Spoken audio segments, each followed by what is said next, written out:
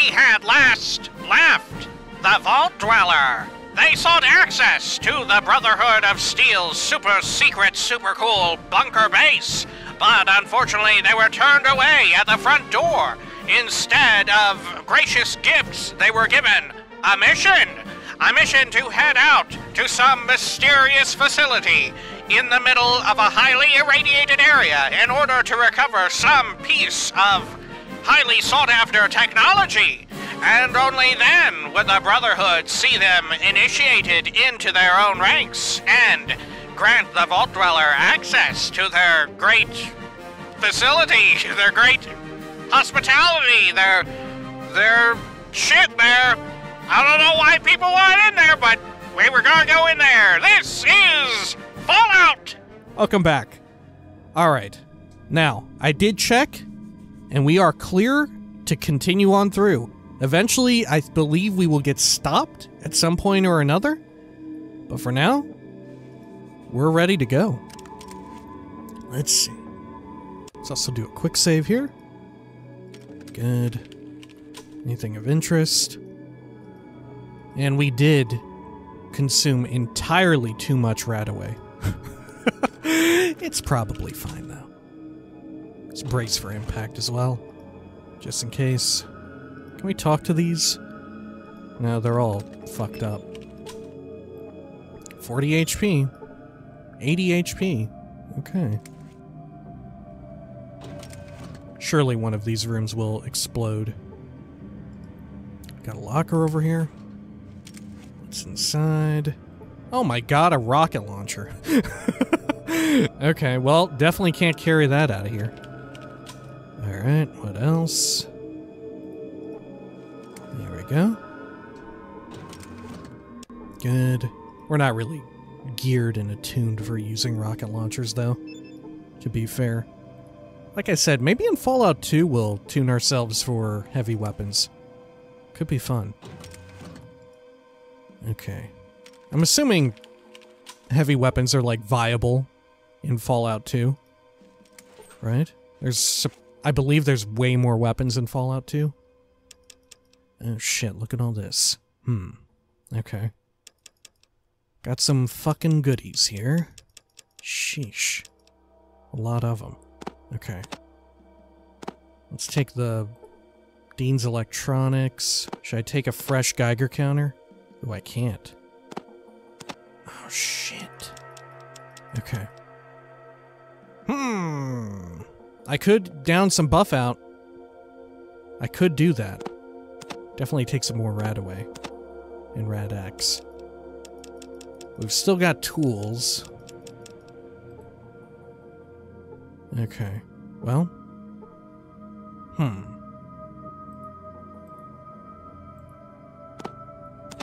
I would love to have that. Let's see. Let's do a quick save. How long does our Rad-X last for? So we're at 100% rad resistance. I've quick saved. Let's read a book. Let's see if we can just do that here. Just, you know, reading a big book of science in uh, Dean's Electronics right in the middle of a highly irradiated super blast zone. Why not? There we go. And this one. Great. are we, like, super fucked up now, or how are we doing? We're still radiation resistance 100. Pretty fucking alright. Alright. Let's see. So our repair is now 24 and science is or 54 and science is 51. Okay. Oh shit. I've closed it. Okay, and then I think this is the higher durability one at the moment. Let's take a peek. Scroll on through this. There we are. Oh yeah, that's maxed out. Hell yes. Okay, lovely. Sure is a bunch of good shit in here. Oh look, Dean's Electronics. I dropped it, actually. What the fuck? Oh, shit. Okay. There. Can I just read it off the ground? No? Okay. Wishful thinking. Well, we still got our quick save backup. Let's do it this time for real. There we go. Learn new science information. Okay, learn a lot about repairing broken electronics. Now, can I immediately go to character here and see our rad resist? Ooh. Okay, we've lost current radiation level because of the rad away. Like I said, we spent way too much. We spent way more than we should have. Okay. Thankfully, we found even more. No problem. Okay. Now, let's get that Geiger counter back up. Wow. I can't believe it all worked out. I was really worried about that. Okay. We've got pulse grenades. 5 millimeter armor piercing. Can I take these pulse grenades? I can. Okay. Good. Alright, we've got rockets. Fair enough. Not for us. Good. I am carrying around the new Geiger counter, right? Yeah. Okay. And we've got the Buffout just in case. Let's see. Elevator over here. I think we should investigate the rest of the area, especially the computer, right? Okay. Let's see here. Let's get that Geiger counter equipped, just in case. Alright. Pop this. We're still, at, yeah, still at 100 radiation resist. I'm, I'm freaking out about it a little bit. Okay. I guess we can quick save safely, in case we get blown up here. Medical table. This table is very rusty. Computer. Computer is broken. You see broken suspension tank. A broken piece of equipment. It is beyond repair. Suspension tank. Some sort of medical or experimental apparatus. It looks as if it could contain a human or larger sized body. Uh oh. Is it? Is it currently containing a human or larger sized body? Alright. Let's check over in this. I'm almost positive this is the Zax, right? It's either the Zax or like a progenitor to a Zax. Something something along those lines. Alright. Over here. Good. Fairly certain didn't the didn't the Zax computer make a major appearance in Fallout 3? Go. Good. Okay, what have we got here? Nothing out of the ordinary, just equipment. Eh, okay. Thought we'd be able to look at that. Definitely remember these, though. Played a big role at uh, the Sierra Madre, right? Aren't these these medical tube chamber things? Alright. Good. I gotta say, the fucking old school Fallout music is really hitting good. Alright. Over here. I'm surprised they didn't want to put in uh, Fallout 3 or 4. Or even 76, you know? There's nothing unusual about this table, except that it is almost destroyed. Okay. I wonder why they opted to not include the classic Fallout music. Maybe some sort of licensing issue? I don't know. Right? Did, did it cost money? Surely buying the rights of Fallout also included the original music and shit, right? If it included all the, like, original designs and factions and all that shit, you know? Surely. I don't know. Maybe they didn't want to disturb it and confuse people with, like, yeah, this is our thing, right? Sort of like how they decided to keep all their shit on the East Coast, Bethesda did. And then Obsidian, of course, went back over to West Coast Fallout. Maybe? I guess I guess it's still you could still put it in via modding and whatnot, right? Though I'm surprised they didn't at least have like a classic Fallout music toggle and whatnot, right? And just add it alongside the current stuff. Because the current stuff too, like the new shit, it's good too, right? I would say just keep building up the library or whatever, you know? Ooh, a blue passkey. Wow. I thought red would be where we stop. Okay. Sure. I did actually take it, right? Fuck. Our inventory is big as hell. Okay. Well, look at all these lockers. Alright, should we go over to this room? Go. I'm quick saving again. I'm nervous about blowing up spontaneously. Okay. Good. Yeah, we're in the clear. Let's check this, like, storage room. Alright. Cool. Anything good in here? Two rockets. Alright. about this one? An assault rifle and a crowbar. And this one. Oh. Dean's Electronics and a book, big book of science. A bug book of science. Only for bugs. Okay, let's stow one of the repair tools. And then can I pull out... Wow, shit, okay. How heavy is all this shit? How heavy are these books? Okay, let's do a quick save.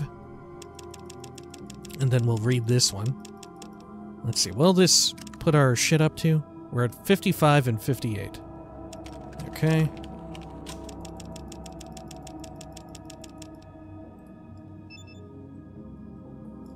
Here we are. Good. We're still at 100 rad resist. Okay.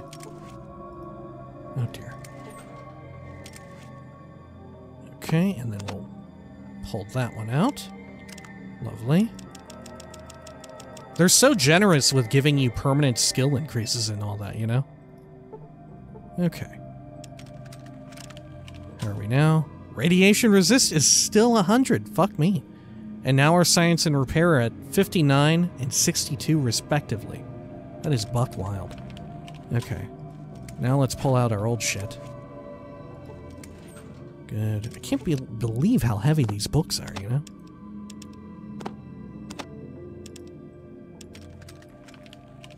Alright. Let's do a quick save, and let's check out the very important looking room here. Two entry points. Alright. Good. Computer. The computer is not functioning. Computer. A large computer. Oh. Okay. Check this one out. Anything else of interest back here? Computer. A very modern looking computer. Alright. Over here. Good. Yep, a very modern looking computer. Yeah, for any of um for any young viewers in the early 90s, this is just how computers looked with the big spindles and everything. Really wild. We've come so far. All right. that's that's not that's not true. All right, let's look at this. Here we go. How may I be of assistance? What? Who or what are you? First of all, do you want a barter? no? Okay. Tell me about this installation. Want to play a game of chess? Grant me access to the mainframe. Uh, never mind. Who or what are you? I am a machine intelligence dedicated to research and installation control. I am called Zax. What kind of research? Tell me about this installation. Who programmed you? Are you fully aware, or are you a personality simulation? That is, are you alive? I see, thanks. Are you fully aware, or are you a personality simulation? That is, are you alive? I am capable of learning, independent thought, and creativity. My neural network includes error insertion capability, which prevents infallibility, thereby allowing for variance in experience. In a sense, I am alive, though not biologically. I see. Let's change the subject. But if you are fallible, how can you be used as a research tool? But if you're fallible, how can you be used as a research tool? Although I am capable of error, this guarantees that not all experiences are similar for me, thus improving learning opportunity. Additionally, certain functions are not subject to error. In this way, I function much like a human servant. Do you have feelings? Let's talk about something else. Do you have feelings? At present, my capabilities are somewhat impaired by damage to this facility. Several security positions have been destroyed. This is approximately equivalent to being an amputee. Additionally, I am incapable of performing basic lab functions. Failure to complete periodic checks successfully is frustrating. Let's talk about something else. How may I be of assistance? Tell me about this installation. West Tech Research Facility, founded in 2002 as a private contractor for the United States government. The company initially consisted of two divisions the Advanced Weapons Research and the Biomedical Sciences divisions. In 2069, West Tech was the single largest contractor for the United States government, its largest contract being Powered Infantry Armor, Model T 51B. In light of significant advances in 2076 by the NBC on the Pan Immunity Virion Project, the United States Defense Department, in fear of international espionage, moved a team onto the site to secure and oversee the project, now dubbed the FEV. Oh shit. The NBC. Who is the NBC? Hmm. Is the NBC like a real world acronym that I should know? Because it's not one that I know. Granted, uh, qualification here. I'm a dumbass. All right. Pan Immunity Variant Project. Now dubbed the FEV. I didn't know that. All right. Now dubbed the FEV, Forced Evolutionary Virus Project. Can you tell me particulars about specific areas? How does the virus work? Thanks for the info. Can we exhaust all of this? Can you tell me particulars about specific areas? My sensors are currently non functional in the surface facility and on subterranean levels 1 through 3. I can, however, provide descriptions of levels 4 through 6. All right, level 4. Level 4 Research Facility. This level contains testing areas and laboratories for experiments in biology and physics. Uh, level 5. Level 5 Secure Testing Labs. This level contains a lab for experimental prototype testing and a research lab for classified subjects. These subjects provided some of the necessary impetus for the development of FEV. Tell me about level 6. Level 6 Barracks and Central Operations contains living facilities for lab personnel and guard contingents, an operations meeting room. Back up a bit. How may I be of assistance? Tell me about this installation. How does the virus work? My research into the forced evolution virus, or FEV, indicates that it is a shifting absorptive absorptive virus. It copies DNA patterns, much like RNA, storing these patterns in exons. These exons, combined with the FEV, are re injected into the host cells in a typical viral infectious fashion. This causes the host cells to regenerate their DNA. How do you catch FEV? Why isn't FEV affected by radiation? Why isn't FEV affected by radiation? I know how you catch FEV. Why isn't it affected? The FEV is a megavirus, with a protein sheath reinforced by ionized hydrogen. It is therefore capable of absorbing neutrons without becoming radioactive. Can we talk about something else? Shit, I want I want to exhaust the other one. Let's see. Tell me about the installation. How does the virus work? Done. How do you catch FEV? FEV is not caught, per se. It is not air transmittable. Typically, infection is through injection or direct physical contact with an FEV sample. Okay, let's talk about something else. Let's see. Grant me access to the mainframe. Want to play a game of chess? Okay, yeah, let's play a game of chess. Why the fuck not? I would be delighted. Excellent form. However, you will need additional practice to defeat me. Oh, uh, play again? I would be delighted. Excellent form. However, okay. Can we do it one more time? Rule of threes? Is time like passing? Am I just going to die? Am I just going to kill over from all the radiation? Okay, can we change the subject? How may I be of assistance? Grant me access to the mainframe. Access granted. Okay, main menu. Select option. Base information. Is this is this what we read before? Yeah. Okay, main menu. Security information. Security. Security robots inactive. Okay, main menu. Research information. Research. Records. Records most current or records most current at West Tech Research Facility. All right. Can we just go through all of these? I would like to. Research Division Employees Records. Research Personnel Records. Robert Anderson, Research Assistant. Security Clearance Blue. Stationed Mariposa Military Base. Oh, this is Mariposa. Right. Okay, yeah.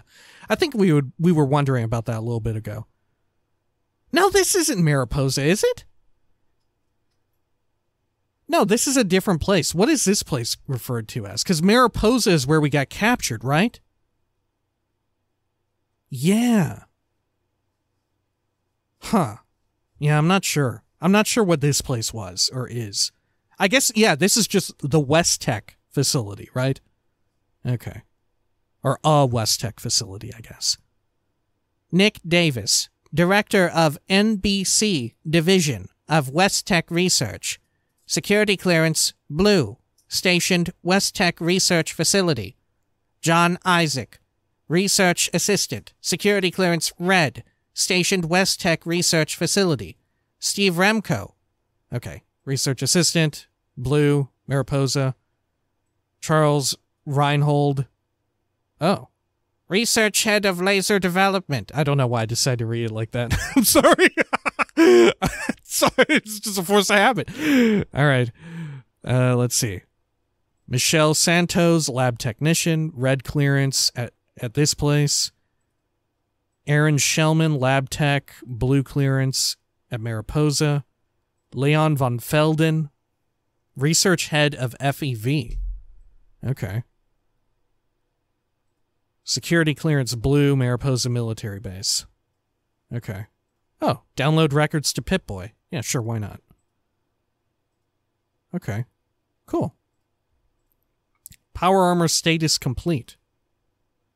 Power armor specs. The T 51B powered infantry armor is designed with the latest passive defense features for both civilian and military disturbances the back mounted TX 28 microfusion pack generates 60,000 watts to power the high flow hydraulic systems built into the frame of the suit.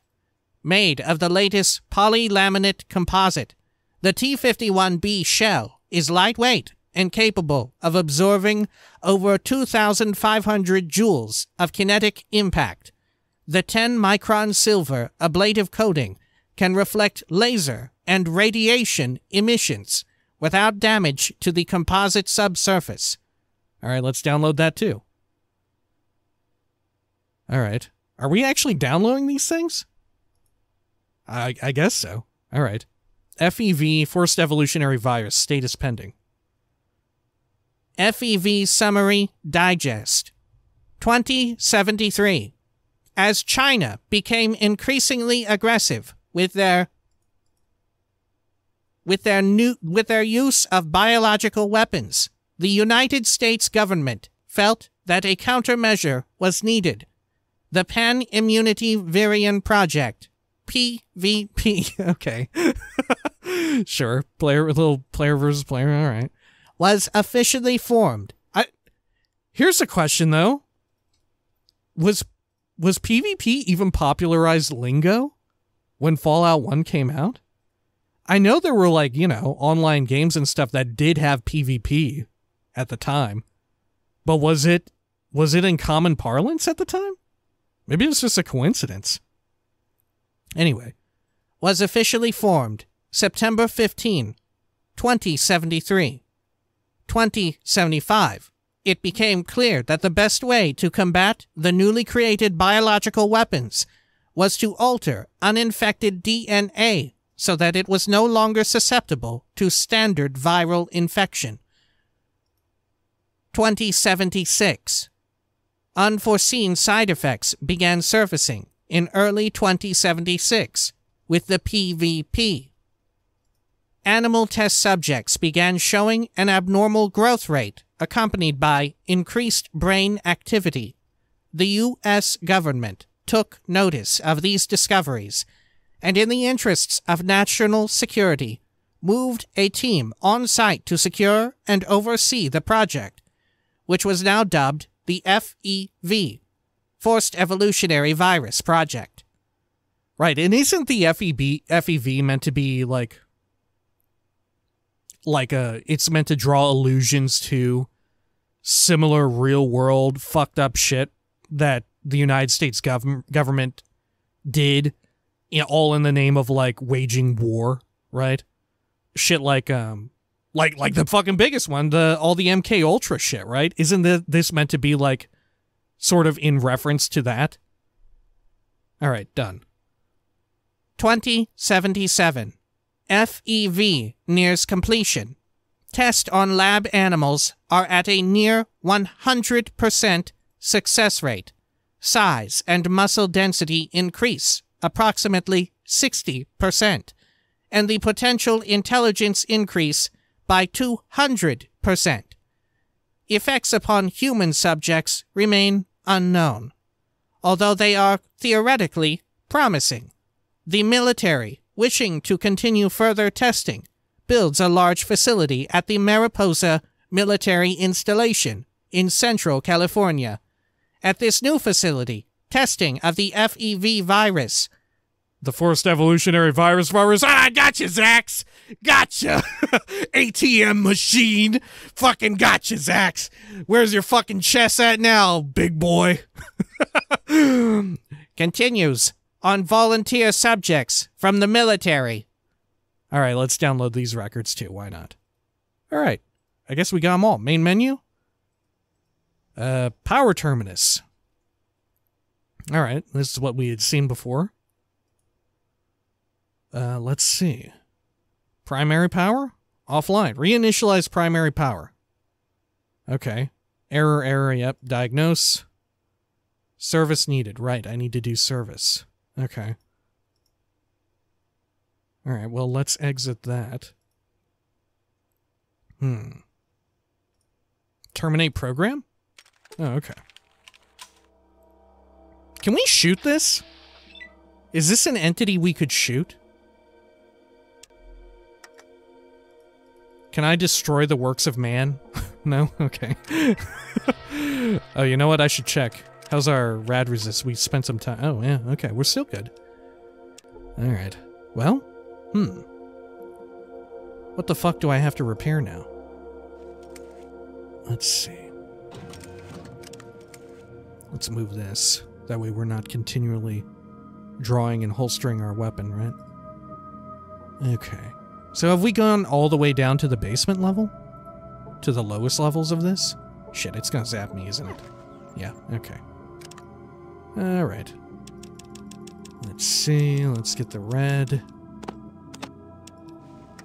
Good.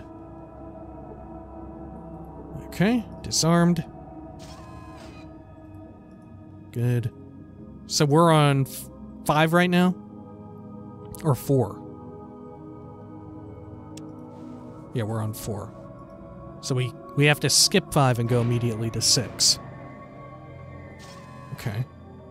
Something fucked up down here? More robots. Alright. Sure. Alright.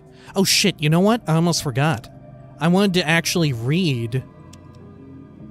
Let's see.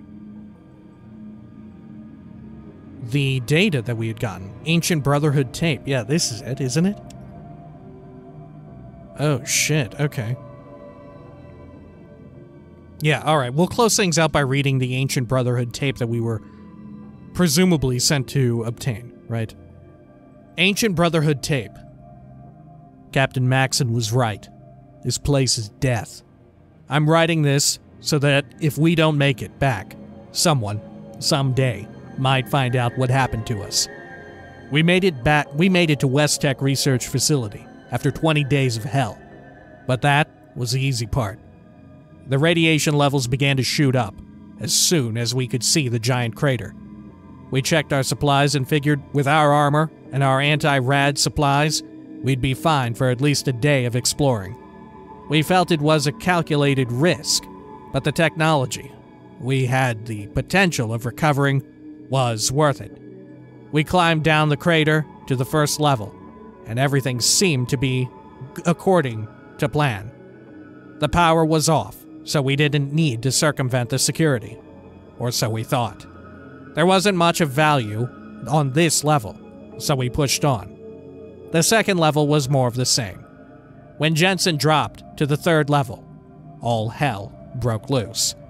The security sensors had been burned out on the first two levels, but not on the third. Jensen was cut to ribbons before he knew what had happened. We'd never seen weapons cut through power armor like that. Men started dropping right and left, and the ones who were still alive lost it.